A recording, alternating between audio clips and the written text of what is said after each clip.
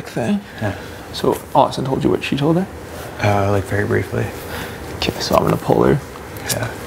after the veto. I already told her. Like, There's a lot more going on than you think. Yeah. I'm gonna pull her after the veto. Yeah. Say, here's what happened all week. We go to talk to Ty and Jet about. First thing that happens, we go to talk to Ty and Jet about the vote. They tell us right away that you're trying to pin it all on us, that you were blindsided. We say no, no, no, no. Um, she was HOH. Her target went home. Of course, we still wanted Latoya to go home. Hmm. Left at that. Ty and Jed go to Roe before the veto. Tell them that they do not want to win this veto. They want one of us to win this veto, take it off, and hmm. both of us to stay. Hmm. Jed comes to me before veto, says he's going to throw it to me. The only way that I stay is if it goes up, probably. Beth then comes to me wants to work with me in Rohan and wants to set herself up because she only has Ty and Jed.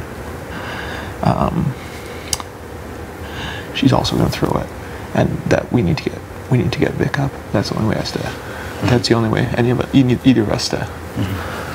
That's what they tell us. Um,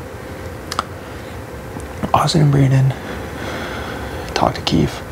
They realize it's between Austin and Vic. Use your brain, Vic. Obviously, she doesn't want to go up. Hmm. So, what's she supposed to say? All she hmm. says she doesn't want to go up. Braden, hmm. that's her number one. Roe, that's my number one. We're told it's either Austin or Vic. Okay, right. So you're told. Okay, so you're told by the boys that the only way that I, st- I if stay is if Vic goes Yeah, up. yeah, that's the plan, So yeah. we pitch Vic, obviously. Yeah. That's my. He's my number But one. we also need to downplay. Yeah, our pitch. Everybody's saying that we hard pitched Vic when we were in here, and you're like fucking like hard pitching her. Yeah. Her name came out of my my mouth once. Yeah. And it was like discussing options. Also, by the way, uh, apparently Tina and Tara came up to Kiefer and told him that we told them to go and hard pitch Vic. Fuck them. Hmm. Really?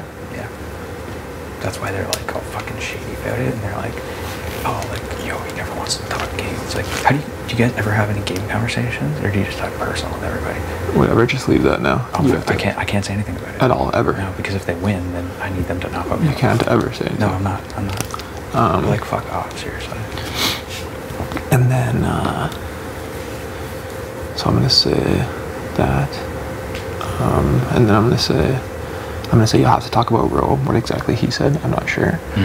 But we were told that you were the only option for me. I went up here, I laid out every, I took myself out of it. I laid out every option that he had, mm-hmm. and just it, in my head, I just made it seem to him like how it didn't make sense, mm-hmm. and how the one that made the most sense for him was you, only because I was told that is the only chance I had to stay. I tried to pitch the three that voted against him, and we immediately got shut down. Yeah, I gotta say that too.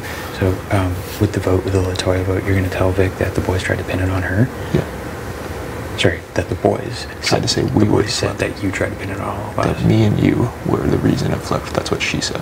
Oh, okay. And then, are we gonna tell her about like the last minute thing with Latoya? No, Okay. because I asked Austin and Brandon if they said anything like that, and they didn't. Okay. All right. That's fine with me. Yeah. All right. All right. Thanks, bud. And then for my speech, what am I gonna say? So I'm gonna say. I don't know, but let's talk after. I gotta go shower and get ready because it's in an hour. Yeah.